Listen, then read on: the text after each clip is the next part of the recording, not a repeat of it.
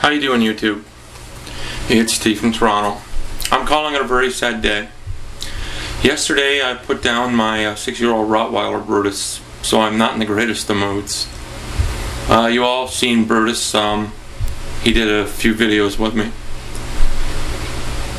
He got cancer of the stomach, and well, he was losing just so much weight, I couldn't bear to see him suffer anymore.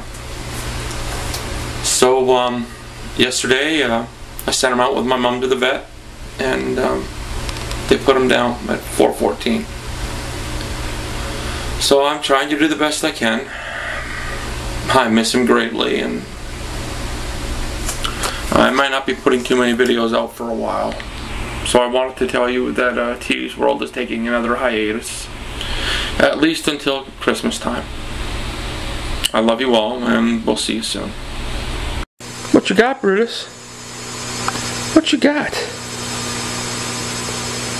I love you, baby. You're my babies, eh?